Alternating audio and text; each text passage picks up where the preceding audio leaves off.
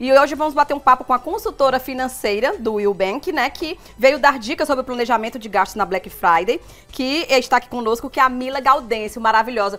Beijinho pra você na bochecha aqui ao lado, né? Oi. Tudo de bom, boa tarde. boa tarde, Mônica. Boa tarde, Carlos. Tudo bem com vocês? Tudo Obrigada ótimo. pelo convite. Nós que agradecemos e a gente tem dois minutos para falar rapidinho aí é, sobre as cartelas que a gente vai mostrar agora. Por exemplo, como criar um orçamento para as compras na Black Friday. Olha aí na tela essa cartela. Conta pra gente aí, Mila. Como eu gostaria de saber como posso evitar o estouro no limite do cartão de crédito? Legal. É importante que se estabeleça um teto de gastos.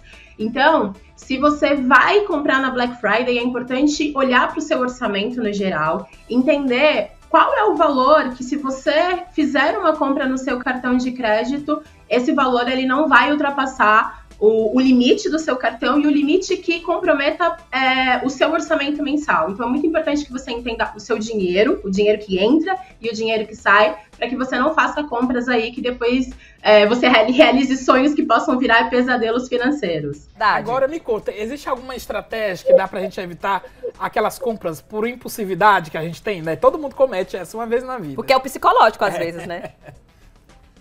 Sim, existem algumas estratégias. Eu acredito que é bem importante as pessoas saberem priorizar. Então, antes de fazer as compras, é importante ela olhar e para a vida financeira dela e ela se perguntar se tem alguma coisa mais importante, como quitar uma dívida, por exemplo, ou uh, investir para o guarda-chuva financeiro. Então, quando ela analisa com mais cuidado, ela consegue controlar os impulsos. Até porque, se a gente vai estu estudar dados e tal, tem uma pesquisa que o Will Bank fez, um estudo sobre dismorfia financeira, que fala que 7 em cada 10 brasileiros não usam palavras positivas para descrever a sua relação com o dinheiro. Nossa. Então, para que você não caia aí nessa estatística. Sim. Um dado então, bem relevante, né? É priorizar mesmo, né? Olha, infelizmente, porque a gente, a, por questão de conexão, não deu para ela entrar mais cedo e a gente vai ter que encerrar. Mas foi muito válido conversar com você. Quem quiser, segue as redes sociais aí da Mila Galdino. Obrigada. Beijos, tá? Pelas dicas.